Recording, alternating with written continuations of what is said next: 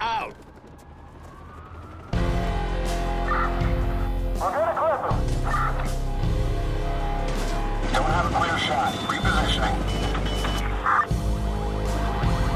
Stop where you are. It's coming straight at us. Lining up an easy shot.